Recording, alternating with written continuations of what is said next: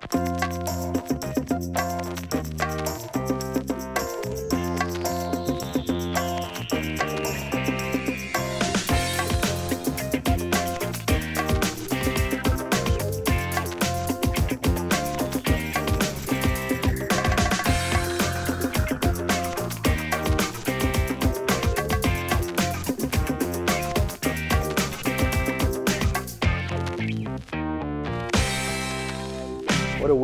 Interesting space, and I'm just going to take a second to acclimate up here. I need this. I don't know if you can feel my heart pounding from out there. Uh, it's only scary because it's new, and it won't be new in a second.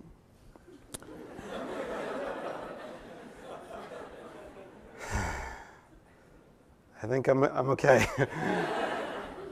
All right. Um, yeah, this, uh, this is really a cool thing, and you guys are rad for, uh, for being here in the morning. Uh, I myself am not a, a morning person, and I don't assume that you are either. For all I know, you might have woken up this morning early and gone, oh, this sucks. And like you got dressed and you got, oh, you came here and you're like, oh, this is the worst. Oh, it's so early. Who is this asshole on the stage? Oh. And um, it's my job to, um, I guess, give you, have given you a good reason to wake up early. And I'll try to do that. Um, when John asked me to, uh, if I would be interested in coming and doing a thing for Creative Mornings, um, I said I would love to, and I would love to not do a slide, like a, a slideshow, not do a presentation. Um, because when I do that, I find that I obsess about it um, in a way that sort of I feel like after the fact, I always feel like I, it, it, constrained me in a way. And then I start thinking through my talk, you know, a month, uh, a month or so in advance. And, um, and I start, you know, the phrases start coming up, and then I start, you know, I think about every little facet, and then I start just making little notes. And then, and then like two days before the talk, I'll be like, oh no, what am I going to say? Um, and how am I going to say it? So I'll start writing it out. If you know, in index cards or little things, you know, uh, notes in my in my slide deck, and then I'll get so obsessed with the wording that I used to convey these ideas that I will um, be really afraid of screwing up any of that wording. And then what happens is I get up here with my laptop and I just read an essay to you. And then um, I think, okay, that went reasonably well, okay, I guess. I don't know if they liked it or not. Um, I said the interesting things that I thought were interesting and wanted to say. And then I go back home, and then, you know, and, uh, eventually the video is posted of the talk, and I'll watch it for like 30 seconds, and I'll shut it off in horror with the realization that I just read an essay to people. So I'm trying something new now, and I've just spent four minutes telling you that. I'm trying something new where I'm just going, where I haven't prepared the talk. I know what I'm going to say, and I'm going to start talking now. And then we'll see what happens. um, so, the prompt that uh, was given for the talk is action.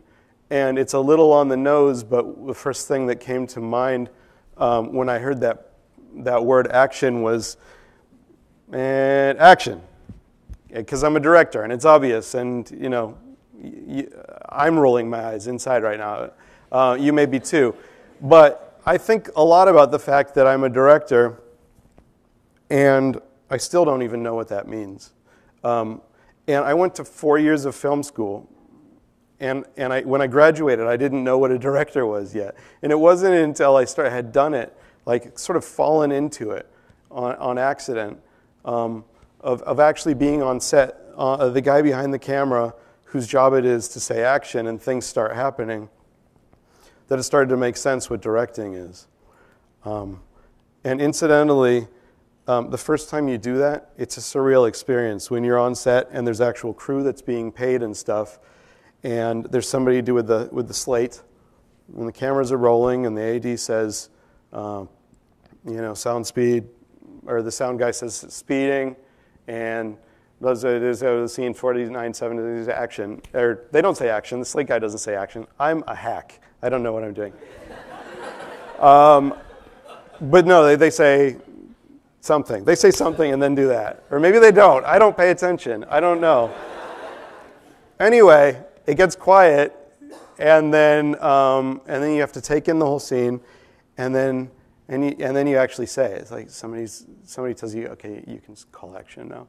And then you go, what? Like, I just say action like in the movies? That's so stupid. Um, because when, when you're making videos by yourself or whatever, you know what you say. You say, uh, okay, go. You know? so why can't they just do that in the film industry? Just go. Or I think in Japan it's like, Hajime! Um, and that's so much cooler than action. Um, but regardless, action is that signifier that, okay, we've all assembled here early in the morning to get these, uh, to shoot this thing that we're all here to do. And we've all, we're all doing our jobs. And it's all culminated in this moment. Um, and we're here, and everybody who's in front of the camera is supposed to be in front of the camera, is in front of the camera, and everybody who's behind the camera is, is there.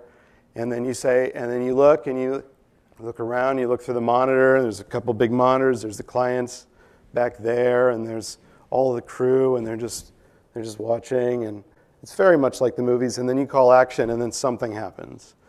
Um, and oftentimes, uh, it's the best and worst thing in the world because what happens is absolutely disastrous. and it's always, it's always like take, take one of the of shot one of the morning, um, and you call action, and then you just watch every mistake that could possibly happen happen. And um, those mistakes could be um, that you're hearing the lines for the first time uh, and they sound wrong. you know, it could be that you haven't properly rehearsed with uh, the, the, the, actors, the performers. Um, so they're just giving it their best guess as to what's going on. It could be that when you call action and people start, the camera starts moving, it's awkward and clumsy, and you th- what you had, the vision you had in your head before you saw the camera actually move, was completely wrong, and in practice is actually very awkward.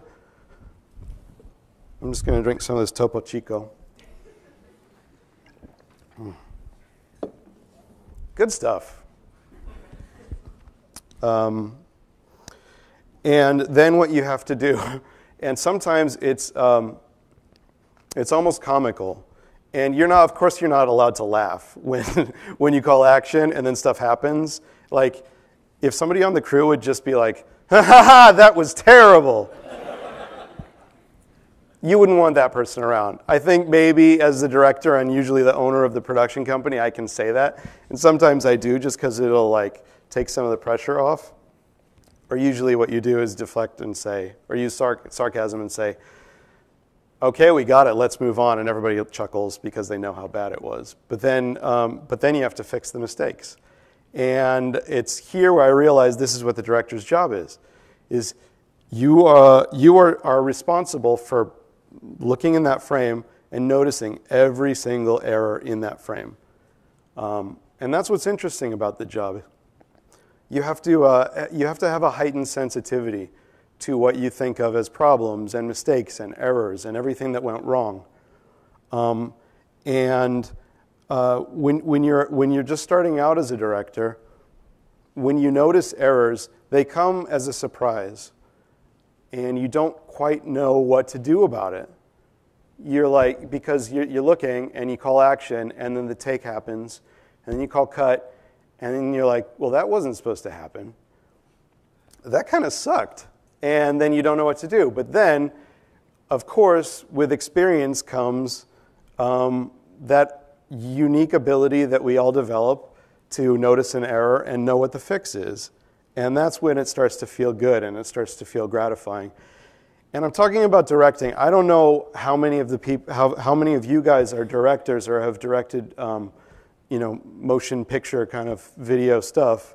Um, I'm presuming not the majority of, of you, but uh, the interesting thing about that, that concept of director is that it, it, it, it exists across all disciplines that involve creativity in some aspect, where it is somebody's responsibility to sort of be creatively, creatively responsible for noticing errors and calling them errors, using their own set of metrics for what, a, what an error is, and, and um, communicating what is, what is wrong with those errors, and then figuring out, coming up with the ideas uh, around how to make them not errors anymore.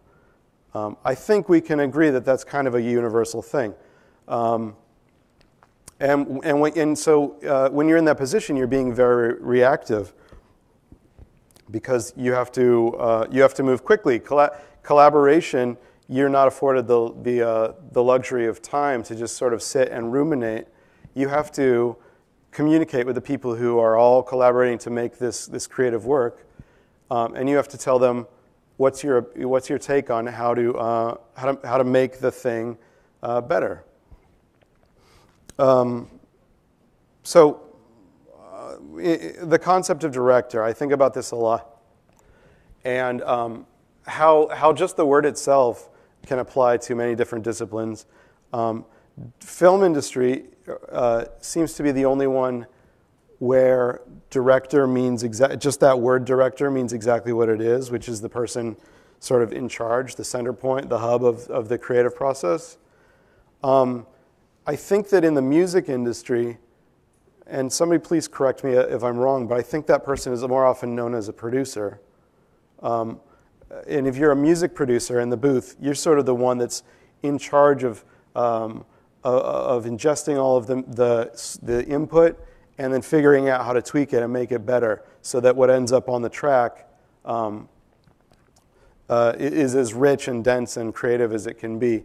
Um, and your performers are, of course, the, the musicians. And, uh, and then that, they call that person the producer. Uh, now, in the film industry, the producer is not the creative person, usually. Um, the producer is the money, the money person or the logistics person.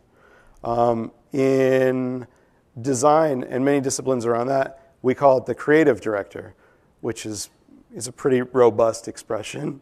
Um, director of creativity. I don't know, it's very self, self-evident. Um, uh, a little on the nose, um, but, but a very, very, very useful term and more specific. I think there's, the ter- there's like the term art director that applies as well. Um, that's a little bit more specific in, in, in terms of the visuals. Uh, you've got, I don't know, in architecture maybe, they, they, don't, they don't call it a director, they call it, I don't know, an architect? Um, but there's somebody at the top who's in charge of dictating all of the, the, the creative and design decisions.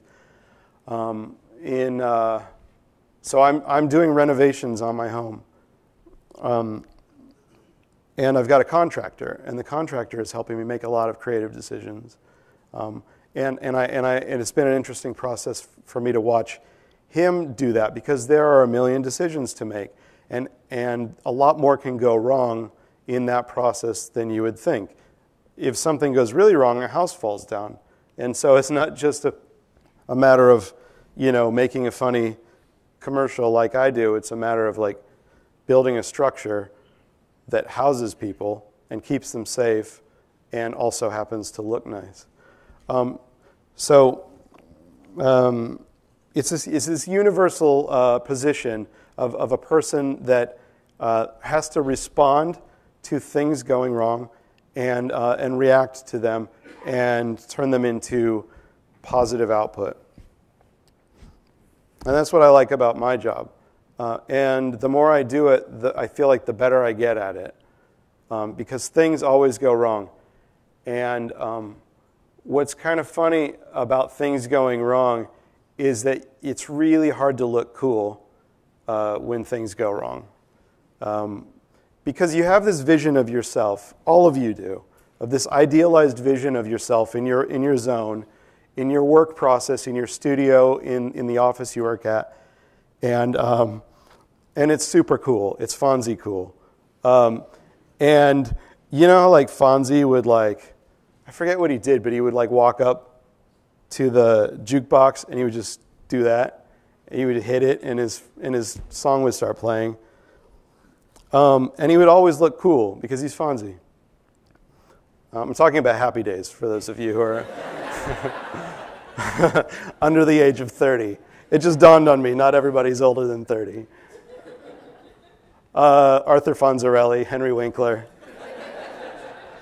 He was a greaser. He wore a leather jacket and he always looked cool. That was like the epitome of cool when I was growing up in the early 40s.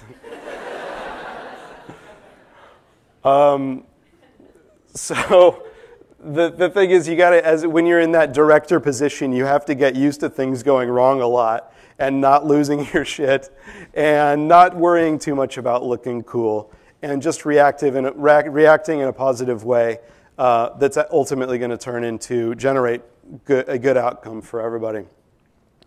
Um, uh, incidentally I'm a, I'm a dad now. I have a two-year-old and the thing i've noticed about being a dad is that you react to things going wrong in a little bit of a different way, which is, and you remember this maybe from like driving with your own dad, and dads just go, oh, come on, you know, a lot, because people are always cutting you off, and there's that dad way of like losing your cool.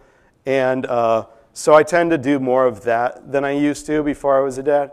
Uh, but still, I think it's always um, beneficial to um, sort of be able to. Uh, not overreact to things um, when problems arise, which they will. Uh, so, one other thing about this creative process that is the position of, of directing, as I do it, is um, the, the more you do it, the better you get it, and the quicker you are at correcting errors. And again, it's your job to uh, it's your job to uh, identify what is an error, what is a quote unquote error, because the errors that you see are not going to be the, other, the, the, the errors that other people see. Um, whoa. You have your own specific, you have your own specific um, heuristic of, of what, an, what makes an error. And sometimes you're going to notice things that everybody else doesn't notice.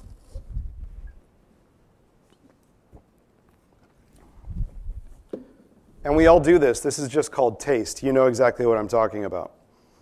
Um, you can look at a design, and your collaborator can look at a design, and you can see that um, um, one element, its pixels are, I mean, its, uh, its placement, its position is three pixels off, and your, partner, your collaborator cannot see that very same thing. And it can drive you absolutely crazy. Um, and to your collaborator, they think you're nuts. Um, but, but you're in the position of, do, of doing that, of fixing, doing something about that, of fixing the error. Um, so what I've, I've, I've kind of developed this idea of like what it means to have experience doing a creative thing and getting better and better at, at it to the point that you're sort of becoming an expert. And in my mind, expertise is, is error correction. Um, error correction that happens uh, faster and faster to, to the point sometimes that you're correcting errors before they even happen. Um, and that's what expertise is in any discipline. If you sit down with, your, with the stylus, if you're designing something, you know in advance of putting of, of drawing your first shape, you know that if you drew it in that corner, it's going to look dumb. So you start in this corner and that's expertise. You know you're correcting your errors. You've got that, that meter going on in your brain the whole time you're doing this process of creating. Um, and and um, that's what becomes interesting. That's why we all do what we do, I feel like. That's why we all uh, strive to get better at what we do, um, why we practice, whether it's, create, whether it's creativity, whether it's art, whether it's sports, whether it's public speaking anything, you know in advance of doing the thing, in advance of standing on the stage, for instance, um, that you can set yourself up for, um, for a positive outcome or a negative one. Um, and to the point that uh, as soon as you start going, as soon as you take that action, right, title of the talk, as soon as you start taking action, you can respond to it uh, and know what are errors and what are not errors. What's interesting about that is uh, this concept of errors. What is an error? Um, I've always thought of it as doing things wrong. Some, sometimes you do you, you make errors, and they're good errors. Um, from the very beginning, since I was like directing, I always had this, this sense uh, that I was doing things wrong. And it didn't feel good. It doesn't feel good to feel like you don't know what you're doing. Um, but, if, but if the outcome is okay, then you can start to feel like it's okay, that doing things wrong might be the best way for you to do them. Uh, that's a powerful uh, insight to have, I think. Um, if you focus too hard on doing things right, uh, then your work might change, your output might change. And uh, so, uh, w- with that in mind, I feel like uh, th- there, are, there are good kinds of errors, and those, kind, those good kinds of errors, I would say they all sort of, um, they, they all sort of uh, build up to define what it is that makes you you what it is that makes your own work your, your work is that you've made those certain good errors in your work that uniquely identify you and uniquely identify your work. And I feel like I screw up all the time. And sometimes I screw up intentionally. Um, I, didn't, I didn't iron my shirt, and that was a choice. and it all uh, results in this, what you see. And this is just me. Some other guy who came up and gave this exact same talk might have ironed his shirt, but that wouldn't have been me. Um, and I think that uh, if you're doing creative work, uh, that I think you can take the opportunity for that to be your, your sort of fingerprint. Um, in that sense, an error, I, I sometimes f- think of errors as, as artifacts. Um, and and in, in, in, in, um, in film and in video, uh, you think of um, the film stock that something was shot on, or the format, you know, the type of video, whether it was shot on Red or Alexa or Mini DV, or whether it was shot on 16 millimeter or 35 millimeter. And all of those formats have their own unique set of errors, essentially. Um, or uh, we call them artifacts, but they're errors. What they are is imperfection. Uh, and again, there's something extremely powerful about that idea that imperfection can be positive. Um, I overuse this, and forgive me, but that concept of wabi sabi, the Japanese concept of wabi sabi, which is something can be perfect and then you mess it up a little bit so it's imperfect, and that makes it human. I embrace that fully. Uh, I, I, I absolutely love it. Yeah, so I make videos. I forgot to explain that part of what I do. I'm going to go back and start again. We've got time. I'll just make it quicker this time. I'll error correct, see? Um, action, thank you. All right, so um, what I do is I, um, tech companies uh, out there, startups and big tech companies and small tech companies and one person developer shops and the whole spectrum uh, they, they write me emails every day and they say, This is what we do. We, uh, it's sort of complicated. Can you help us make a short video that explains this complicated thing in a simple way? And that's awesome for me. Like that's a that's an amazing position position that I accidentally found myself in because I'm a geek and I'm a technology enthusiast and what that means is I get exposed to some of the coolest tech out there before most people know about it. Um, this morning, while I was waiting and before I got on stage, I got an email in my inquiry inbox, and the subject was Bitcoin plus Africa equals emotion. It's fairly ambiguous, but it's powerful. So just remember that. Uh, I don't know if I'll work with them. But uh, I'm not bullish on Bitcoin. but um, um, so one of the companies that came uh, to do for, to me to do a video is this really neat Icelandic company called QuizUp. And I was just in Iceland a few weeks ago, and they're a big deal there. Um, the technology industry is not huge, uh, but they employ something like 150 people um, which is most of Reykjavik. And and and the, their app is so cool. It's a quiz app um, where you, it just connects you randomly with people who are interested in the same topic you are, and the topics go really deep. And you can play on any topic you want, and you'll just be up in, uh, in bed late at night.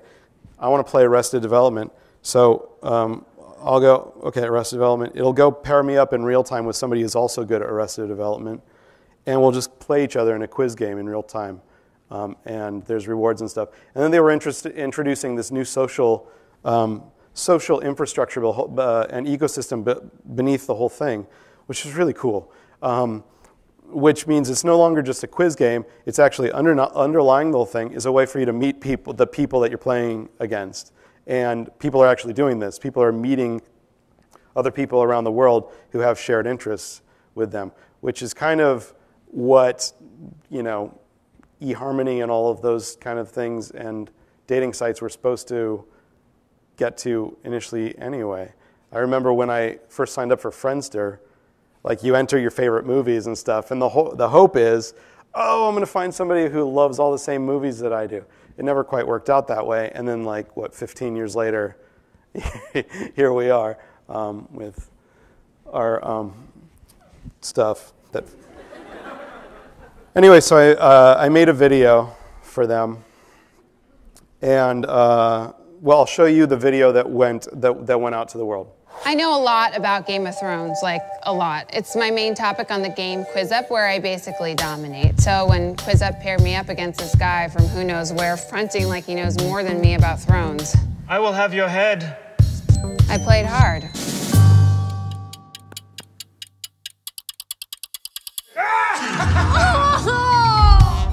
Kicked my ass. I kicked her ass, but Thrones is just a hobby for me. On Quiz Up, I go deep on so many topics, but my real passion is Beyonce.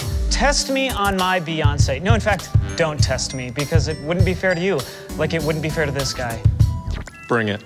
Quiz Up matches you up in real time with worthy Beyonce opponents all over the world. Ah! I crushed him. Made him feel bad about how dumb he is. I challenged him to a rematch, lost again, felt bad about how dumb I am. But I messaged him through the app, made friendly with him, built him back up a bit. Turns out he's pretty cool. Turns out you can actually make friends with people in the same stuff as you. Who knew? That's how I met this nice lady. Hey. See if there's three things I know in this world, it's Beyonce, neuroscience, My Little Pony. I have a pretty strong presence on the My Little Pony feed and Quiz Up. I post gifts from the show, quotes about friendship, anything that inspires me and my friends. And I brag about winning games. The only person who's ever beat me is this guy. Friendship is magic. But I figure we have so much in common, there's gotta be something there. So we started talking through Quiz Up, whatever. Long story short, we're basically in love now. And I have a new friend who knows the truth and beauty in Queen Bee. And I'm a global leader in a community of like minded individuals who accept me as I am. And now I'm the number one Game of Thrones player in the world. Come at me.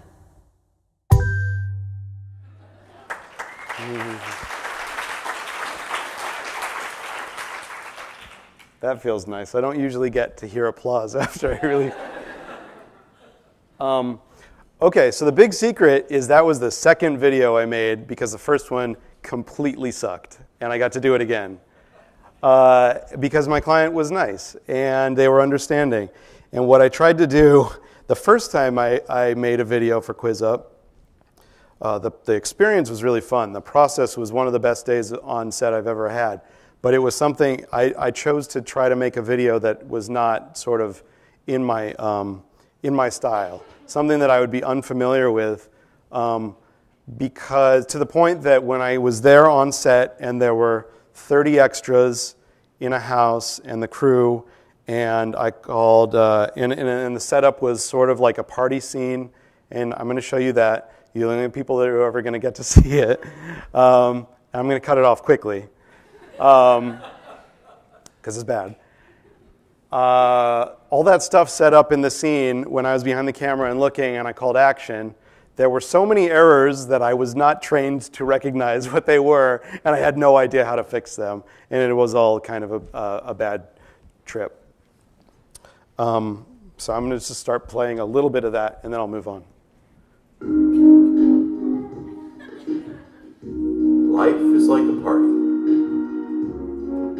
It's just that sometimes party sucks.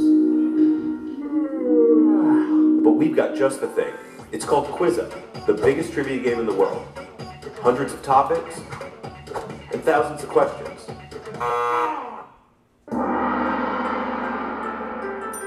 Play in real time against real people. With people that also All right.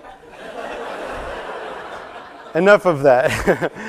that was just a rough cut. It never got to the full, you know, the, the, the final cut and everything. We all just kind of, you know, called it, called it quits on that one. Um, but it was a really interesting learning experience, and uh, that's not my style. Um, so what I what I got the unique opportunity to do, which you don't get to do very often, is start from scratch and try it again. Uh, and I'm so glad I did because I really the the one that I ended up doing, which was closer to the thing that I know how to do, um, was a lot was a better outcome, and um, is one of my one of my one of my favorite videos that we've done. Um, so that was like a, like a little unique window on the on my process. What I'm going to end with is this. Errors are things to look out for and correct quickly, and sometimes they're good. And sometimes errors can be positive, and it's okay to fuck up, but when you fuck up, do it for the right reasons. And when you fuck up, fuck up like only you can fuck up. and I think I'll end it there.